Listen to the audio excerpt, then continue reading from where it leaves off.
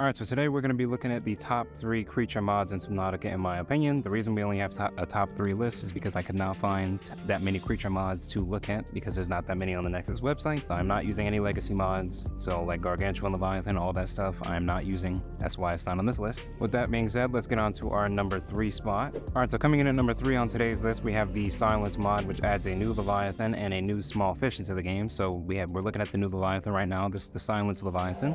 And then we also have the Void Boomerangs. I'll show you after we get done looking at this guy right here, because this is the main highlight of this mod. So this Leviathan is only found in the new Void biome that this mod adds to the game. It's like a little bit further out. It's like a little small set of islands that you can find and in that not in that but around that set of islands you'll find the silence leviathan. Now the silence leviathan has a pretty distinct look with this giant little horn on its forehead. It almost looks like it's a bone. It was like part of its bone that just kind of like just stuck out from his skin. And then underneath we can see that his actual rib cage is showing so that's cool as too got plenty plenty of little glowing bits. He's got some nice little fins back here. Well these fins aren't little but you know what i mean. it's got some crystalline, like crystalline formations on its back, almost like there's a bunch of spikes on his back. And it's got a really, really, really long tail. Ignore my body right there. That gets thinner and thinner as you get near the, you know, at the end, as a tail normally would.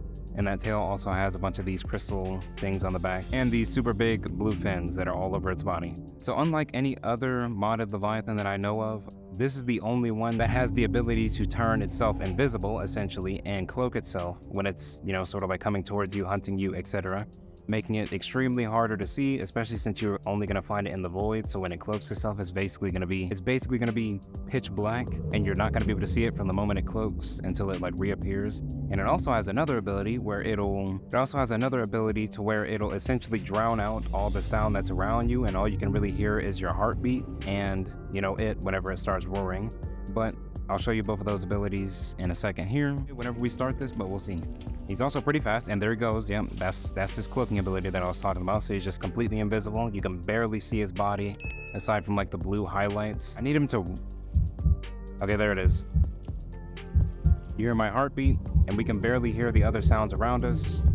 Aside from these refacts right here, you can still hear like your tools and stuff. Oh my gosh. But you can hear that there's no like ambient noise. And he sort of like stays locked onto you whenever he's got you. He's kind of just like right on me. I don't know what he's got going. It like drowns out all the ambient noise and music around the area. Oh my gosh, that was loud. So you can only really hear his heartbeat and you know, the sounds of your tools or vehicles or whatever else. All right, and this is the other new fish that this mod adds to the game. We have these little void boomerangs that are swimming around all over the place. It's essentially just a regular boomerang, but it does look a little bit different. And you can only find this one in the void, the new part of the void that this mod adds to the game. So yeah, void boomerang, it's got a nice little, you know, we can see, actually this is perfect because you can see the side by side right here. And this little like ringing part, this little ring part right here that I'm looking at, I don't really know how to describe it but you know this part is glowing and on the regular boomerang it is not glowing so there's that and its eyes are also glowing. And then the bigger difference is the fact that its entire color you know like the color of the entire fish has changed. But yeah that was the silence mod coming in number three on today's list and with that we can move on to our next spot and yeah what did i just say? We can move on to our next mod at number two. All right so the next mod that we're going to be looking at is going to be the bloop and blaza leviathan mod which adds two new well technically three new leviathans into the game.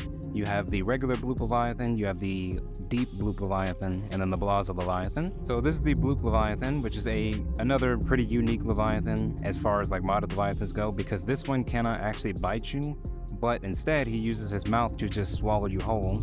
So if you're driving around in your Seamoth or something, because the Seamoth is small enough, it can get swallowed whole by his mouth. You can get swallowed whole by his mouth, obviously. I don't think he can swallow the Cyclops though. But anything small enough to fit in his mouth, you know, if it fit, if you can fit in his mouth, you will be insta-killed. He has four glowing eyes on the front of his face, and these eyes do illuminate the floor. Like if he was to look at the floor, the sea floor down there, it would illuminate, so that's cool too. Got these big old fins back here that are almost like a like a pearlescent color, because they sort of like change depending on the angle you're looking at them, so that's cool.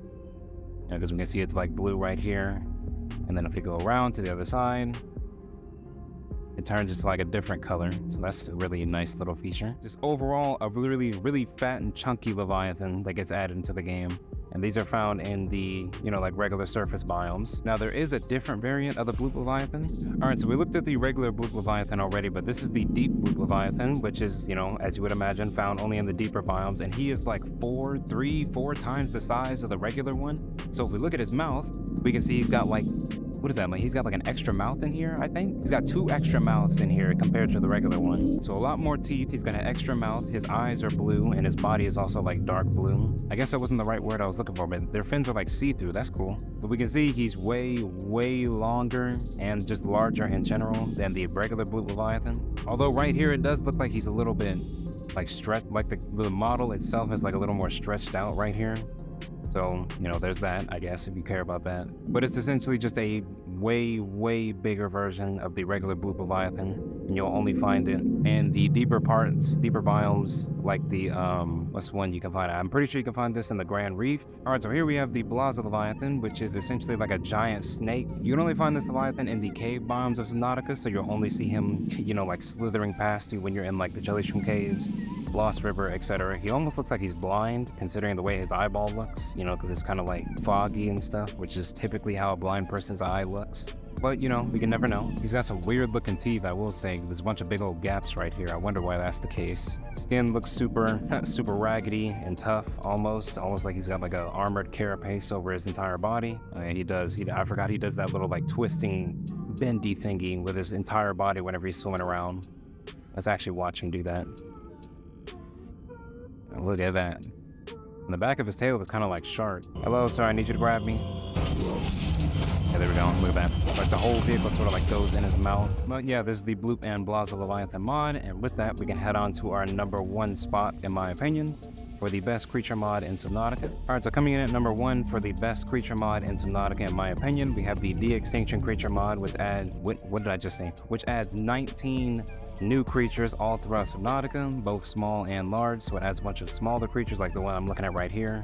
One of, like an example of one of the smaller fish this mod adds to the game. And then we have an example of one of the more medium-sized creatures. It's also it's also got a really generous mix of creatures that are both aggressive and peaceful. This is one of the, this is an example of a relatively peaceful creature. He kind of just swims around, looks super awesome, and doesn't do anything to bother anyone. Okay, never mind, I lied. So that little, um, so that tiny little gas that we just saw this creature let off, um, that can actually damage you if you go into it, because I have covered this mod before, and I do remember that. I don't know how I forgot that just now.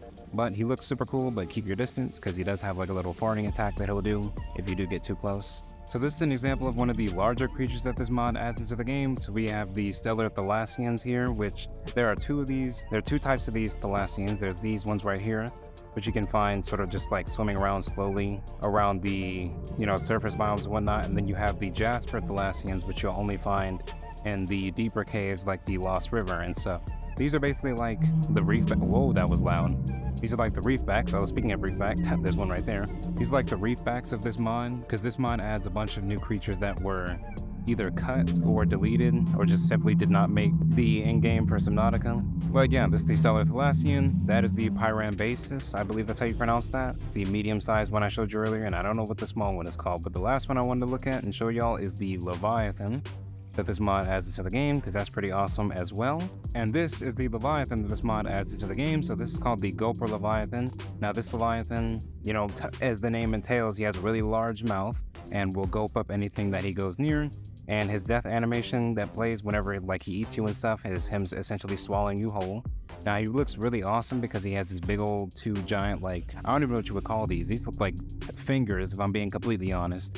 But I guess those are his teeth. He's got nice little glowing eyes, some lights, and then he also has these like tattoos, I would like to say, like all over his body. I know they're probably not tattoos, but I'm gonna call them tattoos because that makes it look makes it look and sound super awesome. He's got these big old spine slash fin on his back that looks super cool as well. And also a little neat tail about a neat tail. What was that?